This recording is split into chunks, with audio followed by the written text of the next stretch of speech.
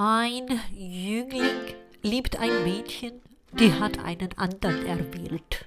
Der andere liebt eine andere und hat sich mit dieser vermählt. Das Mädchen heiratet aufs Ärger den ersten besten Mann, der ihr in den Weg gelaufen. Der Jüngling ist übel dran. Oh, es ist eine alte Geschichte, doch bleibt sie immer neu.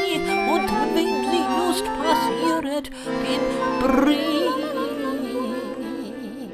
bricht das Herz entzwei. Oh.